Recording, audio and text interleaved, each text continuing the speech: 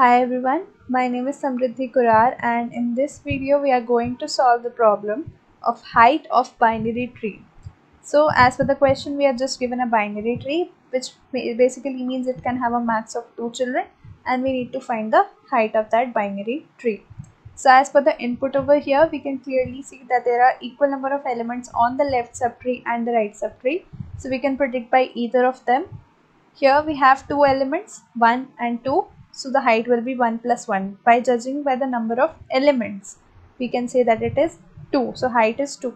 Now we can see that the branching is only present once. So why the height is 2? Because here we are calculating height by the total number of elements and not by the total number of edges. If it was by the number of edges like here only one linking is present then the height would have been 1. But here we are calculating by the number of elements so here the total elements are 2 which is the max. So the height is 2. But here we can see that there is no element present on the left subtree. There is just one on the right subtree. And what are the total number of elements in this? It is 1, 2, 3. So the height is 3. So our basic task is to find the height and if the tree is empty we need to return 0 and if it is not then we need to return that integer which denotes the height of the tree. So the expected time complexity is order of n and the space complexity is also order of n. Now let's see how we go about it. So here we have this particular tree for example as the binary tree and we need to calculate the height. Now how we'll do that? We'll basically traverse the left subtree and the right subtree and whatever is max out of that we'll use that for calculating the height.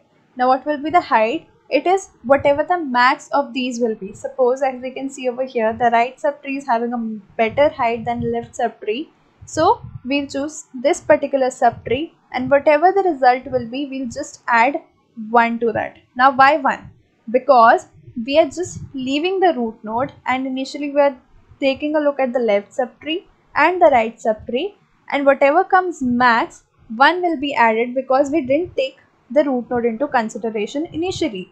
So since the right subtree has more height we'll just add 1 to that height. So as we can see over here the elements are 1, 2, 3, 4. So the total height will be 4 and that is what we have written over here.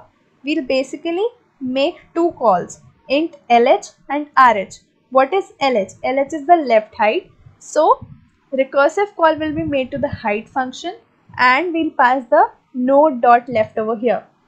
So what is 4 dot left? It is 2. So it has come to this particular point. Now again call will be made to this. What is node left for this node? It is 1. So call has been made to this and total height has been calculated as 3. Now again the call has been finished for the left side for right it will be made now. For 2 and what is 2 dot right? It is 3. So the height has been calculated for this particular part also and it is coming out to be 3.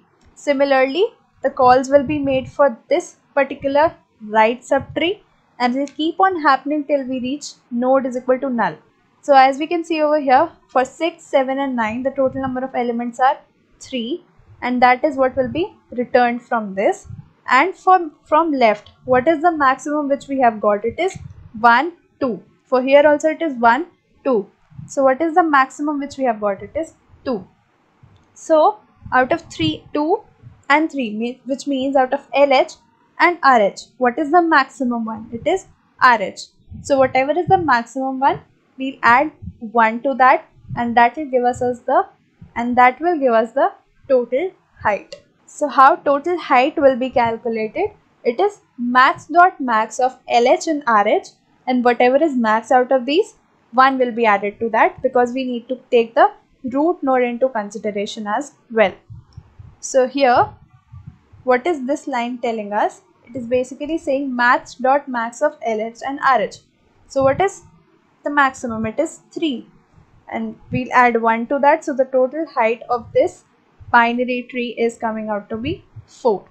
So this is how we'll calculate the height of the subtree. We'll place recursive calls to the left subtree and the right subtree and whatever comes out to be max, one will be added to that. So now let's move to the code.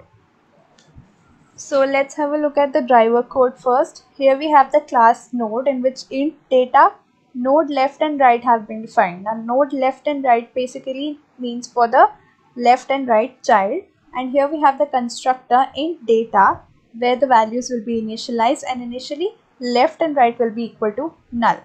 Coming on to the main function, here we have t which stands for the number of test cases and here string s basically means inputting the elements of the tree one by one and in order and node, node root has been defined and the function for calculating height is height root where root is being passed as the parameter. So here the function is int height since we need to return the int value or the height and the parameter node has been passed and if node is equal to null we'll simply return 0 and that's what was written over here if the tree is empty, then we need to return 0. So this if statement is basically checking if the tree is empty or not. And if it is empty, then simply 0 will be returned.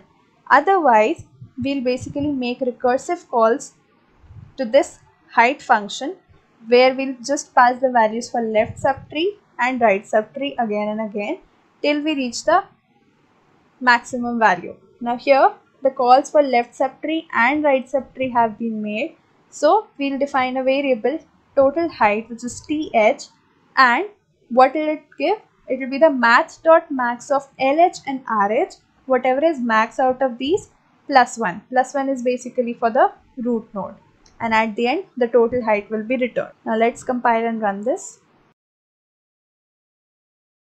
So this is basically the example similar to example number 1.